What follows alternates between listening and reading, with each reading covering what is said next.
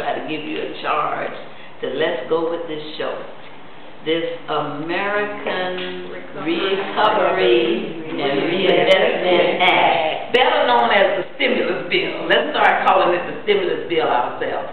But you know, the public needs to understand that this is a law and that there are services that the public can get from community action programs and other programs.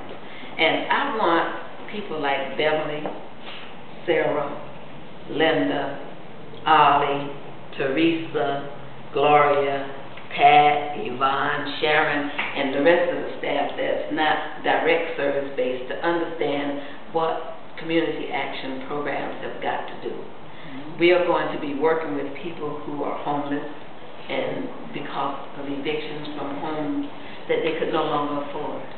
We're wanting to work with people who were downsized, and thrown out of jobs and can't take care of their household. And then we want to work with people who want to buy a house or who want to keep their houses if they are still employed. Right. Uh, so there are a lot of things that you're going to be have you're going to have to be retrained. Are you committed to that? Yes. All right. So, now wait a minute. Y'all know that Ollie